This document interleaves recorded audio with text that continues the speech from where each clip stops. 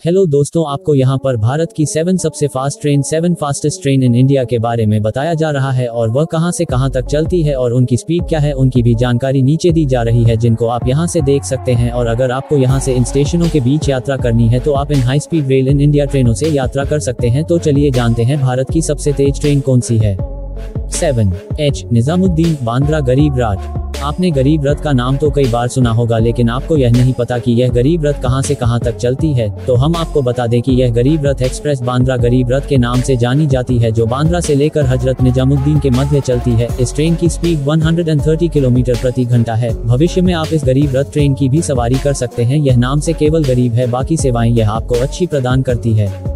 Six अगले ट्रेनों की सूची में हमने Mumbai L T T H Nizamuddin A C superfast express train को शामिल किया है। 22,109, 130 किलोमीटर पर आवर की स्पीड से दौड़ती है। इस ट्रेन में यात्रियों को अच्छी सुविधाएँ देखने को मिलते हैं। यह ट्रेन हावड़ा जंक्शन एच से लेकर रांची जंक्शन के मध्य चलती है।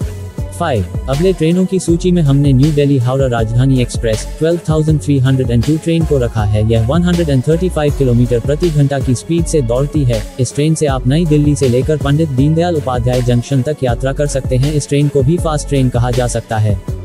फोर. राजधानी एक्सप्रेस। अगली भारत की हाई स्पीड ट्रेनों की सूची में हमने राजधानी एक्सप्रेस को रखा है। यह तेजस राजधानी एक्सप्रेस 140 प्रति घंटा की स्पीड से दौड़ती है। अगर हम इस ट्रेन की बात करें तो यह मुंबई सेंट्रल से लेकर नई दिल्ली के बीच चलती है। अगर आपको भविष्य में इस ट्रेन में यात्रा करने का सौभाग्य मिलता है तो आप इस ट्रेन में सफ़र कर सकते हैं, जिसका ट्रेन नंबर ट्वेल्व है।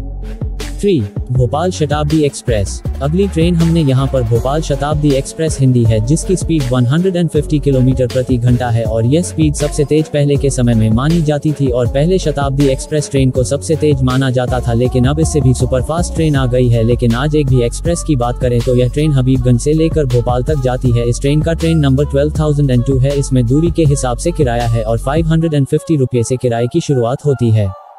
Two Gatiman express. दूसरे नंबर पर हमने यहाँ पर गतिमान एक्सप्रेस ट्रेन को रखा है और इस ट्रेन की स्पीड 160 किलोमीटर प्रति घंटा है। इस ट्रेन का ट्रेन नंबर 12,049 12,058 है और यह ट्रेन दिल्ली से लेकर झांसी के बीच चलती है। अगर आपको कभी इस ट्रेन में बैठने का समय मिलता है तो आप इस हाई स्पीड ट्रेन का आनंद उठा सकते हैं जो की आपको कम से कम समय में दिल्ली से झांसी पहुँचा देगी। गतिमान एक्सप्रेस में वीआईपी ट्रीटमेंट मिलता है। यात्रियों को फूल और चॉकलेट देकर स्वागत किया जाता है। 1. Vande Bharat Express fastest train in India.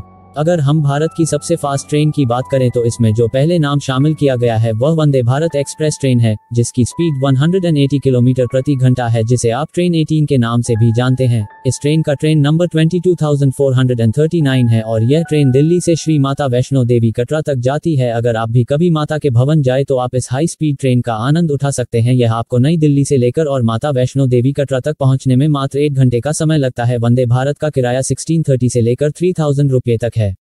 दोस्तों, इस वीडियो में आपके लिए बस इतना ही। ऐसे ही रोचक जानकारी देखने सुने के लिए हमारी दूसरी वीडियो को ज़रूर देखिए और यह जानकारी आपको कैसी लगी, हमें कमेंट बॉक्स में ज़रूर बताएँ और आपने चैनल को सब्सक्राइब नहीं किया तो कीजिए।